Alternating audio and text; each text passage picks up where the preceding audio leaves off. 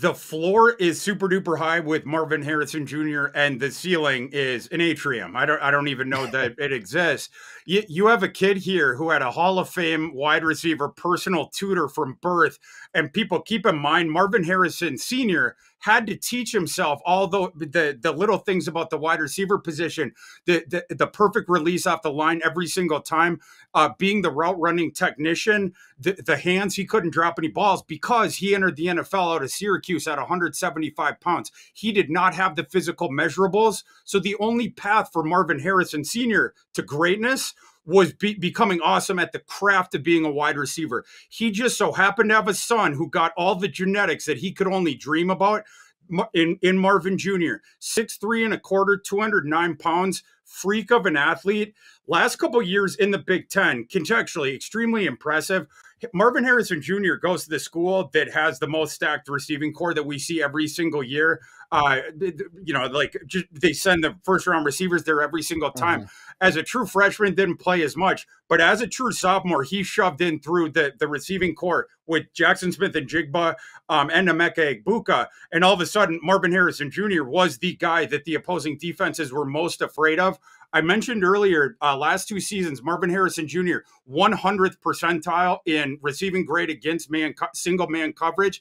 That's why you saw defensive coordinators so often throwing double teams at him. This started probably midway through a sophomore season or a little bit later on in there. This season, he got a steady dose of it. Last year, uh, they switched from CJ Stroud to Kyle McCord. So now you can't say, oh, it's just because he had a good quarterback as well. He shoved through this super duper crowded wide receiver room, was a star right away kept being a star even when they were throwing all the different coverage stuff at him. And then this year they go from CJ Stroud to Kyle McCord, who was so bad behind center. They banished him to Syracuse in the transfer portal after the season was done. Uh, Marvin Harrison Jr. last year, 33% target rate.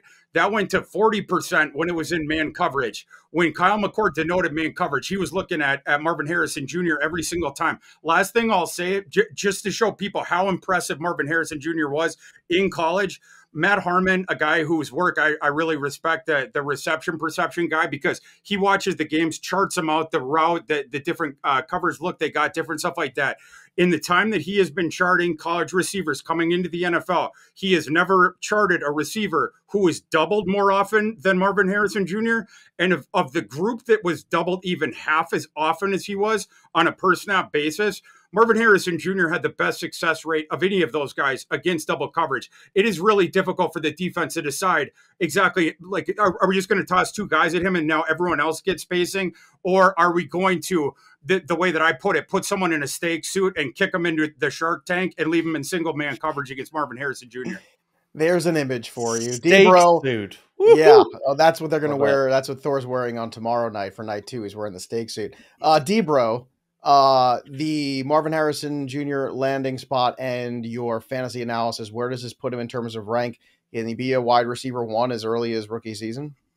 Yeah, we talked about this. Uh, people want to pull this up on YouTube while you're watching the NFL draft and you're listening to this. Uh, we talked about landing spots, I think, two weeks ago.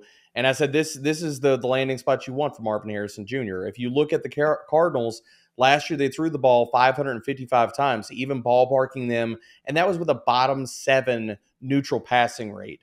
Even ballparking 550 passing attempts, if we think Marvin Harrison Jr. is that guy, 25%, 27% target share, we're talking about a rookie wide receiver that could legit be top 12 amongst all wide receivers in raw target volume in his rookie season. When my ranks are updated by Monday on fantasypros.com, he will be ranked as a wide receiver one right now in redraft. There we ranks. go. Yeah, love to see it.